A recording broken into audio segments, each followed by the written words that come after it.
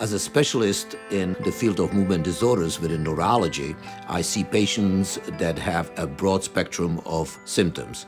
Some of them have slowness of movement or paucity of movement. They fall into the category of Parkinsonian disorders.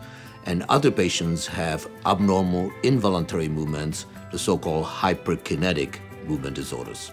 In Parkinson's disease, there is a deficiency of a chemical called dopamine in the brain, and replacing the dopamine with levodopa is the standard treatment. When patients with Parkinson's disease develop these motor fluctuations and dyskinesias, they often become candidates for surgery. The type of surgery that we perform is called deep brain stimulation.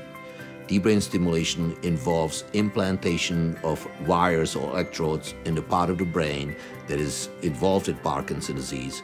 And by stimulating that part of the brain, we can control the other involuntary movements and clearly improve their quality of life. Patients who are referred to the Parkinson's Disease Center and Movement Disorder Clinic at Baylor College of Medicine come from all over the world, and they are referred to us by other neurologists who have difficulty managing these patients and they are looking for cutting edge treatment for their patients. I'm Dr. Joseph Jankovic, a professor of neurology at Baylor College of Medicine.